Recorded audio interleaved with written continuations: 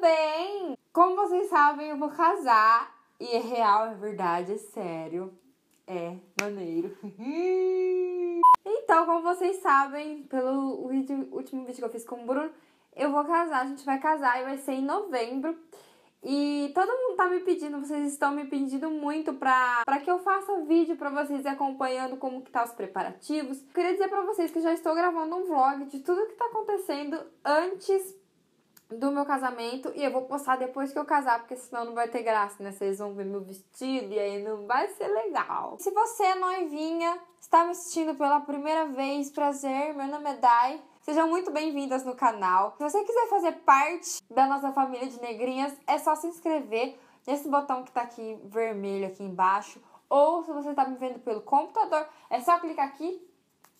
Se você já é uma negrinha, dê logo seu joinha pra mim, tá? Se você quiser dicas para saber como é que eu organizei a minha lista de convidados, como que eu escolhi as minhas madrinhas e as minhas daminhas. Se tiver também curiosidade para saber, é só continuar assistindo e bora!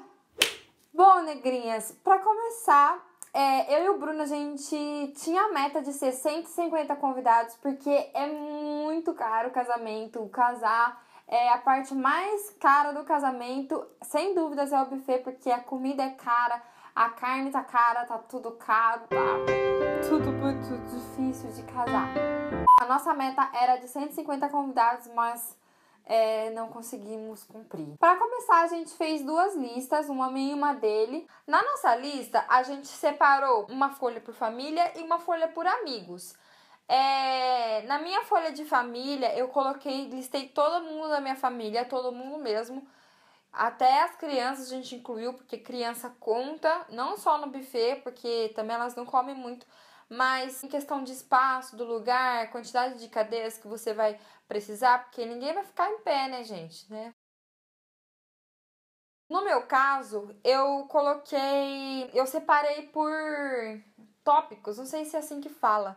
Eu separei meus amigos por isso. Por exemplo, eu coloquei amigos de escola, trabalho, que é o trabalho do YouTube, ou seja, minhas companheiras de YouTube, do, do YouTube, da internet, que eu gosto muito. Ex-trabalho, né, que era onde eu trabalhava, que era onde eu trabalhava na academia, que era só os meus amigos mais chegados. Depois eu separei por igreja. Não coloquei todo mundo da minha igreja, só as pessoas mais chegadas que de um jeito ou de outro fazem a diferença. Sabe aquela pessoa que pega no teu pé, que conversa, que ora por você. Então, as pessoas mais especiais. O Bruno, ele fez diferente. Ele viu por Facebook. O Bruno é uma pessoa que, por exemplo, ele não é de muitos amigos. Não é que ele não é de muitos amigos. Se ele não conversa com a pessoa, não tem por que ele ter aquela pessoa no Facebook. Ele é desse jeito. Diferente de nós, né? De mim, youtuber, que uso o meu Facebook para trabalho. Então, se eu fosse fazer assim, eu ia me perder em meio de 5 mil amigos. Então, ele tem uns 300 amigos dele. Então ele olhou pela lista do Facebook. Então, se você é igual ao Bruno, não tem tantos amigos, é, o Facebook pode sim ser seu aliado na hora de você montar sua lista de casamento. É só você ir lá nos seus amigos e ver, ó, esse aqui, ele, eu gostaria que ele fizesse parte do meu dia. Ah, então tá, anota. E esse, anota, anota. Depois de ter feito tudo isso, a gente colocou tipo uma peneira, sabe? Por exemplo, primeiro da lista. Ai, fulana merece. Fulano é 5 minutos ou 5 anos? O que, que é isso, dar 5 minutos ou 5 anos? Você acabou de conhecer ou é pessoa de faz tempo? Ou é pessoa de 15 anos que vocês foram muito amigos e hoje em dia não é mais igual antes? Pessoas assim que você já conheceu, que já foi seu grande amigo, não tem porquê, se você quer economizar. Não tem porquê estar tá na sua lista de casamento. Na minha não tá. Pensa assim, você tá com dó, que nem eu, fiquei com dó de excluir certas pessoas, mas pensa o seguinte: você faz aniversário, você chama a pessoa para fazer um churrasquinho, um quilo de carne. A pessoa não vai no seu aniversário porque não quer levar um quilo de carne, mas quer ir no seu casamento porque é de graça, vai comer. Então as pessoas não vão no meu casamento, porque não foi no meu aniversário que tinha levar um quilo de carne, porque que vai querer no meu casamento que é de graça? Ou a pessoa gosta de mim ou ela vai lá para comer. aí você vê por aí.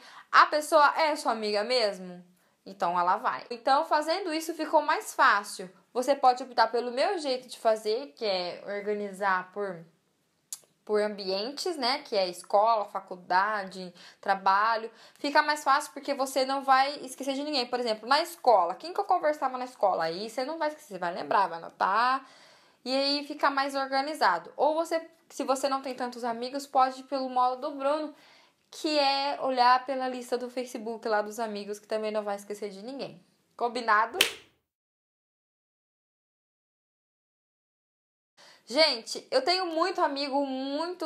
Não muito amigo, não é muito amigo, mas são amigas que eu gostaria que fossem minhas madrinhas, né? Mas eu não queria que tivesse muita gente na frente do altar, não queria que fosse um. Aí eu acho, desculpa, é a minha opinião, eu não gosto de, tipo, 20 de um lado, 20 de outro. Então a gente escolheu 12, que são 6 de um lado e 6 de outro. Ainda assim tá grande, mas não, a gente não teve como excluir nesse, nesse, nesse aspecto. São casais, todos casais de amigos nossos, que fazem parte da nossa vida, que fez parte do nosso rolê todo, que são amigos tanto meu quanto dele. Isso que é legal, a gente tem um, uma pessoal que é amigo meu e amigo dele. A gente é da mesma vibe de amigos, então ficou um pouco mais fácil.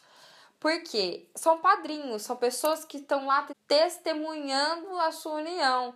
Então, são pessoas que faz, fizeram parte da nossa vida, que foram importantes, exceto os irmãos dele, né, a Isis e o Cadu, e minha tia com meu primo, que não são casais, mas que com certeza fizeram parte da nossa caminhada e que com certeza sem essas pessoas algumas coisas não seriam possíveis, até mesmo, sei lá, o casamento. Como a gente tem muito amigos, eu falei, a gente é melhor a gente organizar assim. E para não deixar ninguém de fora, as minhas amigas solteiras, eu separei elas para ser minhas damas de honra, ou seja, não terei daminhas de honra pequena, criançadinha, não. São damas de honra adultas, igual na, acho que é casamento americano. São oito, eu quero todas iguais, o mesma cor de vestido, aliás, o mesmo vestido, o mesmo modelo, o mesmo tecido, o mesmo tudo, a mesma cor, porque eu quero um casamento padronizado. Não gosto de carnaval de cores. Eu escolhi oito amigas minhas que são muito amigas mesmo, são todas solteiras, tipo, não são casadas, mas namoram. Então achei legal deixar elas como damas de honra, porque fizeram parte da minha vida, fazem ainda, são muito importantes, são minhas elas vão entrar antes de mim no casamento e elas vão entrar no altar, preparando o altar, preparando o altar para minha entrada. Então eu, sei lá, na minha cabeça eu, eu, eu penso no significado de tudo, sabe? Poxa, o que que isso vai por que, que eu vou fazer isso? No que, que vai ser legal? Sete são da minha, da minha escola, que amizade de anos, seis, seis, sete anos de amizade a gente tem e permaneceu até hoje. Então, são amigas que estão ali firme, que tudo que eu precisar vão estar comigo e uma é minha irmã. Então são pessoas que fazem muito, que fizeram muita história na nossa vida, que fizeram parte da minha vida com, com o Bruno. Então ficou assim, a gente colocou as madrinhas e os padrinhos de um jeito e as amigas de outro para não deixar ninguém de fora. Gente, meu neném. Fala oi pra elas. Oi, negrinhas, eu tô cansado, eu acabei de chegar do trampo, tô moído e é daqui que eu fico gravando. Firmeza, vamos gravar então. Tava contando pra elas nosso convite. Mostra aí meio de longe assim. Nossa, você não dá nem pra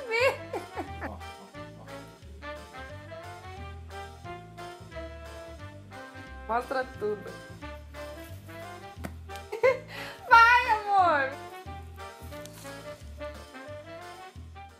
Gente, esse aqui é o nosso convite. Pronto, chega, chega, chega. Porque a gente vai fazer um tutorial ensinando vocês a, a fazer, o, fazer o convite. Os próximos vídeos vai ser tutorial de como fazer o como que a gente fez nosso convite, porque foi nós mesmos que fizemos. Então, se você tá pensando em Oh, meu Deus. Para, amor! Então é isso, negrinhas. Espero que muito. Amor, agora é sério. Para de pensar. então é isso, negrinha. Espero que vocês tenham gostado do vídeo e do nosso jeitinho de produzir a lista e de fazer os convidados e os padrinhos e as daminhas, né, amor? É isso aí. Hum. Coisa linda. Um beijo pra vocês. Fiquem com Deus e até o próximo vídeo. Ah, não se esquece de curtir esse vídeo se você gostou e, e deixar aqui embaixo sugestões de vídeos pro nosso, casa, do nosso casamento, alguma coisa que você quer saber da gente, do nosso casamento. Agora é sério, um beijo. Tchau. Tchau.